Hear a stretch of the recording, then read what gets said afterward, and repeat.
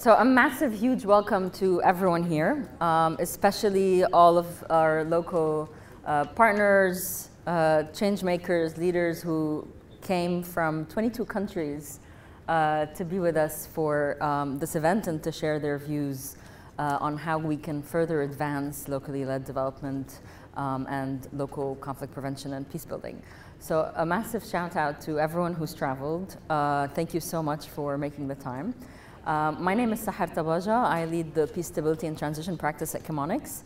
Um, and uh, uh, the PST team, uh, in collaboration with multiple other teams at Chemonics, um, sort of conceived of this event about uh, a year and a half ago when we were looking around um, a lot of the forums discussing how to advance LLD localization and realizing that there weren't a lot, a lot of local voices around that table. Um, and we thought, okay, this is a conversation that really needs to happen with our local partners.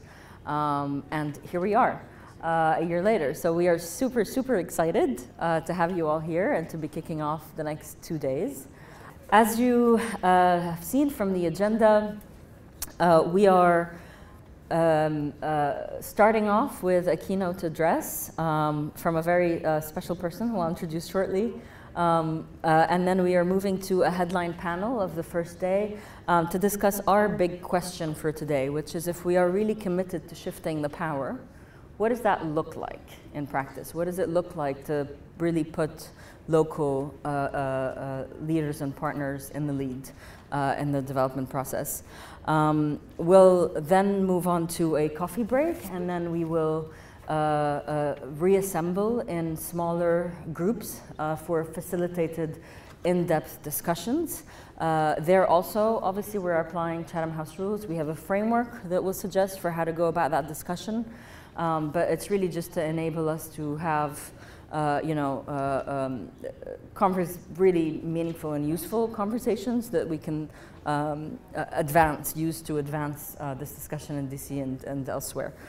Um, we will then head to lunch at 1.30, um, and at 2.30 we all head uh, out to a networking session, which will be here in the atrium and downstairs and it will be divided by region uh, and by technical sector.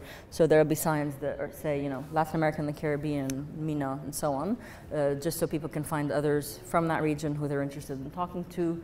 But we also will have technical sectors so that you also find folks across regions um, that you'd like to talk to and, and connect with. Um, finally, thank you again for being here, everyone. Um, this is an event that is really very dear to our hearts. It's a topic that I know is, is crucial for everyone. Uh, we live it, we work on it daily. We all are in this sector and this industry because we want to make a difference. Um, we want to see meaningful change happen in our countries, in the communities that we work with, in our adopted countries as well. So um, please, you know, uh, leverage this opportunity, make the most of it to connect with everyone, um, but also to uh, share your valuable experiences and insights um, um because it, it will uh, make a difference uh, to how we all think about this collectively and, and uh, how we move next. Um, all right, so our, uh, I'll move on. Our first uh, address is uh, by Fernando. And Fernando uh, uh Calado Bryce is a, a Chemonics colleague, um, but also a local leader in his own right uh, in his native Colombia. He's a migration and human rights expert with over 20 years of experience um, managing uh, really complex programs and, and uh, over 15 years of implementation in uh, Colombia. Uh, Fernando has a special career arc, which we think really sort of resemble, um, speaks to the, the interaction of the world and the stakeholders that we're bringing together here today. Fernando was, uh, uh, you know, an activist and leader in his own country. Uh, he was working on these issues locally. He was working with international implementing partners and donors. And uh, now, in addition to managing the very complex um, uh, uh refugee uh, immigration response, uh, Venezuela, sorry, VRI, Venezuelan Re Response Initiative. um, he is also a, a board member of uh, um, International. Um, Fernando has been a three-time chief of party for USAID-funded programs and um, is currently serving as the IDIQ manager and chief of party for VRI. Um, and uh, he previously led human rights activity in the human rights program um, and served as director of programs for IOM uh, in Bogota, uh, where he oversaw a large portfolio uh, uh, of uh, projects to support human rights for migrants and other vulnerable populations. Um, Fernando is also a marathon runner. So for other runners in this room, if you want to discuss or compare times, go ahead. I cannot run to save my life, so uh, we'll be talking about uh, migration and a lot of other uh, uh, topics, but I think the reason we asked Fernando to give the keynote address is that he, he has, you know, he sits within this sort of Venn diagram of all these uh, uh, different stakeholders that are key uh, to advancing locally led development and leadership. Um, so without further ado, Fernando.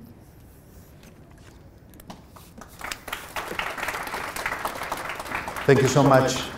Um, I, if I would have paid attention to the instructions, I would have prepared this in Spanish and deliver it in Spanish, but you will have to deal with my Peruvian English um, because I didn't read the instructions. So thank you so much. Thanks so much for inviting me. This is a great venue, having 40 partners from all over the world. Um, I think it shows how Chemonics is really interested in discussing localization, being able to invest in this initiative that USAID is taking very seriously and it's a testament of how um, we try to address problems by uh, putting uh, local leaders and local groups in the driver's seat. Um, I have always considered myself an optimist, but a realist optimist. Um, I look at the hard facts with optimism, but I don't avoid them. For example, my national soccer team, Peru, is really bad.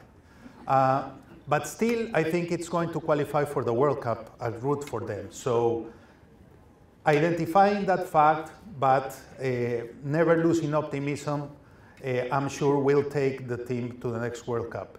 Um, in terms of the development front, again, on this um, realistic optimism, um, I think we are in, in a moment where we need to understand how localization can help us to address the big challenges that we have. Um, in the countries where we all come from, we have aggravated uh, challenges from the rest of the world. We have uh, first uh, one big challenge, which is see how we can continue recovering from the pandemic. The pandemic has hit hard on all the world, but particularly hard in fragile and conflict affected countries. There has been a recovery over the last years for the majority of the world. But unfortunately, in conflict affected countries and fragile countries, that recovery has not uh, been at the speed uh, that it's necessary to go back to the levels of development pre-pandemic. Um, that, what does that mean? Economically, what uh, we are seeing is the, according to several research and investigations and World Bank figures, the capacity of investment of governments has go back to levels of 2010, which is critical. That means that we have to come back from the pandemic, but with less resources and less capacity to move forward. That is one of the big challenges that we have to address. The second is climate change. Climate change on top of the economic hardness, climate change, as we have seen in the last months and uh, years, have started to impact uh, more strongly. More strongly, and climate change has unleashed devastating effects through rising global temperatures and changes in natural cycle of ecosystems, threatening use and habitability of land, food security, and the survival of nearly 40% of the world population, according to UN figures. Third, there is a big challenge that overrides or it's an umbrella uh, in order to move forward to addressing climate change and the pandemic and economic recovery, which is democracy, the state of democracy, the state of governance in the world. Right now, as we speak, most of the people live in a state that it's not fully democratic. According to figures of Open Society and others, 60% of the population of the world live in places where there is no full democracy. If we want to move forward in terms of recovery of economic and in terms of climate change addressing, we need to protect democracy and try to ensure to expand the capacity of democracy to have the citizens leading their processes in their countries and being able to have a voice in how to address these challenges. Because these challenges need to be addressed in a way where citizens can decide what is the priority and the sequences of the intervention. This is a global agenda, but it needs to be localized. And the first participation or aspect of participation that uh, we need to focus is to help countries identify what is the level of priority in terms of their challenges and how they want to sequence the intervention on this. It's not the same for some countries to address an urgent priority, which is achieve peace and stability, and uh, address climate change at the same time. Can they do it at the same time? Can they do it together? Or they need to sequence the interventions that they will be doing in terms of trying to uh, work on that. But in terms of how can we, like-minded actors, address th these three major challenges in the context where traditional development mechanisms are changing? The answer to these questions can be given by those who know the problems of the communities better than anyone else, which is you all. Along these lines, USAID proposed to strengthen locally led development by aligning goals and partners through inclusive and adaptive leadership as a key strategy to empower local actors in partnership with governments, international institutions, and private sector to lead change in their own communities through their voices and visions to advance sustainable development on the issues that matter the most. How to promote the strategy of localization? The question that we will try to address here.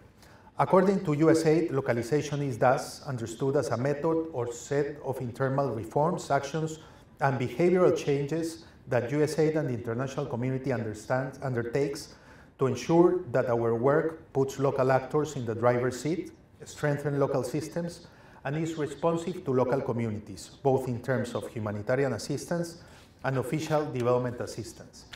This is why the gathering of more than 40 partners here is key to transforming our experience into a global impact strategy. This vision implies in moving beyond the mere design and implementation of programs with fixed results to a new vision based on the co-creation and strengthening of local systems as a strategy to move towards sustainable local development models. It also encouraged international development experts to design and implement projects with results aimed at strengthening local systems that contribute to sustainable and inclusive development of communities. The investments made in these local actors be they governments, institutions, civic organizations, or individuals, should be in line with their capacity to deliver sustainable results. Thus, by 30, 2030, USAID has um, set a target of having 50% of its resources devoted to co-creation exercises, project implementation, and evaluation of their impact on local communities. Well, in the words of our CEO, Jamie Butcher, Chemonics see this as a business strategy that we have been implementing for more than 50 years. And that is why we are here today in this room with more than 40 testimonies on how we do it. In the case of Colombia, where I'm currently working, the dire humanitarian situation have produced, in Venezuela has produced a migration flow that led to 3 million Venezuelans to settle in the main cities in Colombia. Urban migration management, like the complex challenges we are discussing today, is not an exclusive process of local administrations, but involves multiple actors in local systems that include civil society actors. In order to promote access of migrants, returnees, and host populations to quality services and to effectively influence policies for their integration, it is necessary to provide them with technical assistance for comprehensive strengthening. For this reason, Chemonics, with the support and funding of USAID, is implementing through the Integra project, aiming at integrating migrants that and have recognized that civil society organizations, grassroots community organizations, and community action committees are allies and key players in these local systems. And on this process of working with civil society, I would like to share with you three key lessons that we have learned during the past three years of implementation. First, in working and strengthening civil society and local organizations, we need to work in an area which is try to implement activism with pragmatism. How does, do we do it and what does this mean? To work effectively with local actors, we need to understand not only the local system, but also their own ethos. What are these local organizations trying to achieve? And not try to impose what we think they should achieve as a local organization. In fact, this knowledge exercise lead to self-reflective environments that allow the organization itself to begin to visualize where it comes from and what are the practices that may take to immune to change international actors should provide a platform to transform their capacity for community organizing into projects and programs that benefit the community. At this point, the use of input measurements and self-diagnostic tools allow them to take ownership of this process and build works plan and to strengthen themselves. On this first process, what we have been trying to do is try to identify where this organization wants to go and try to adapt the tools that USAID have and others in order to make sure that they can align their vision with what they can pragmatically achieve in terms of trying to transform their communities. A lot of times what we see is a big vision, but lack of clarity of what that means in terms of translating this into work plans and actions that can make small shifts transformations, and then move forward and change their communities. Evidence-based decision-making and social monetization of data. That is another big area where we have been trying to work and we are currently working with civil society organizations. Civil society organizations have these strong powers that they have the knowledge of their communities and they know where the people are and what they need. How can we transform that into systemic uh, knowledge that can become data that they can socially monetize. Companies, Uber, uh, and other platforms are monetizing their data in order to make uh, lots of money. Here, what we are talking about is how these um, civil society organizations can monetize that data for impact. Uh, an example of this element is we so 3 million Venezuelans came into Colombia. Nobody knew where they were in the cities. And there were these civil society organizations of Venezuelans um, working and trying to organize themselves around to see how they can um, start accessing services that they need. Uh, we work with them, we identify those organizations, and we start uh, transferring tools of data collection and um, systematization so they came up uh, with maps of where these groups of Venezuelans were in these cities. We managed to prioritize and identify where the 10 uh, hotspots in each of these cities were, and that allowed to inform the government on where to start uh, implementing. Of course, we cross this data with government data, and that allowed us to have a very powerful maps that were allowed to guide the intervention for the government, but also for civil society. And now civil societies, these organizations are working with this data that it's uh, completely theirs in terms of uh, moving forward on identifying funds to be able to work with the community. So they are monetizing data to bring impact, but in a systematic way. Not only but having qualitative data, but also quantitative data that can allow them to georeference the intervention.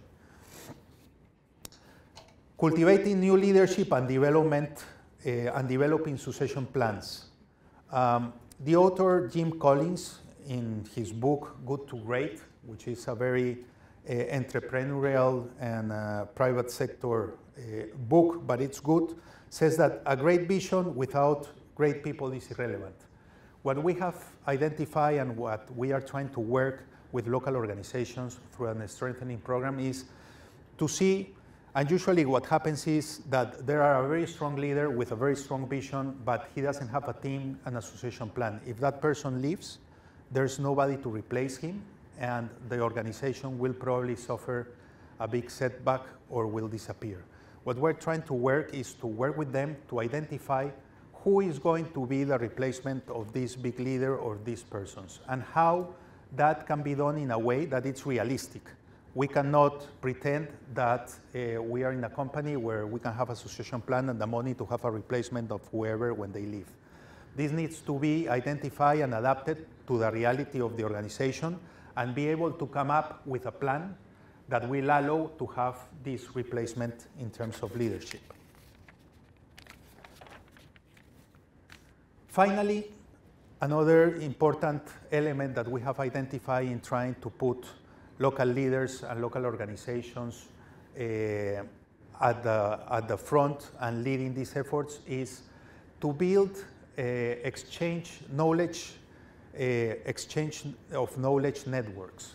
What we are uh, looking is that the ability to put all these brains and all this energy together and all this leadership at the local level in uh, knowledge networks allow first to uh, understand that they are not alone, which is very important.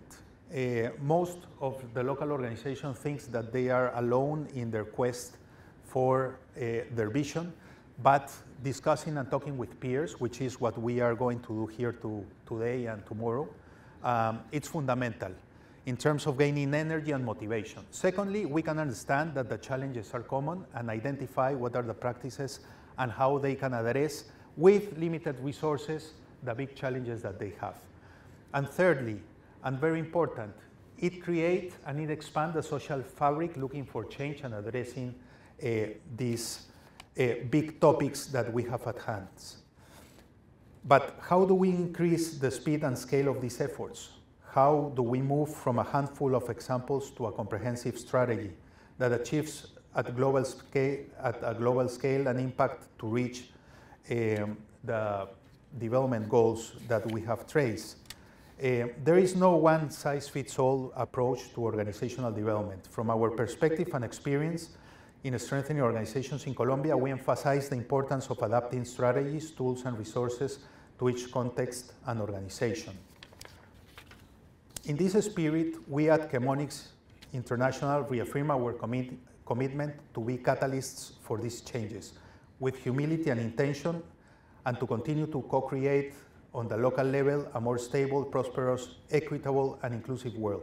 We hope that today we can mobilize our knowledge to answer the questions of the day. What does it look to put local partners and change makers in the lead? Thank you so much.